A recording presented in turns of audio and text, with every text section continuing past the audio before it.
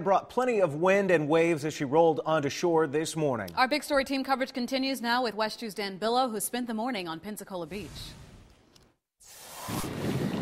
Out here at the end of the quarter mile long Pensacola Beach Pier, you feel like you're kind of out in the middle of the ocean and still in the middle of the storm, despite the fact it's been downgraded to a depression, an extra tropical storm now. But at its height, it was so strong that the waves were coming up as high as the walkway of this pier. Not only that, so high that the pressure from underneath blew out some of the wood panels and uh, now they've uh, tied this off so that nobody can go out there and fall in.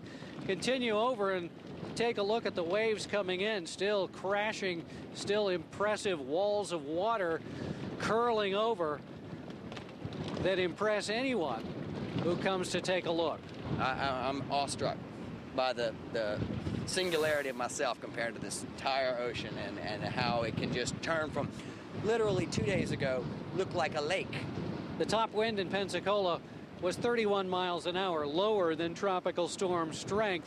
About four inches of rain fell overnight, and that was the storm. This damage to the pier is relatively minor. It was just restored, by the way, after the disastrous Hurricane Ivan five years ago. That damage is still being repaired in some parts of Pensacola, but the damage from Ida will soon be forgotten. In Pensacola Beach, I'm Dan Billow, WESH 2 News.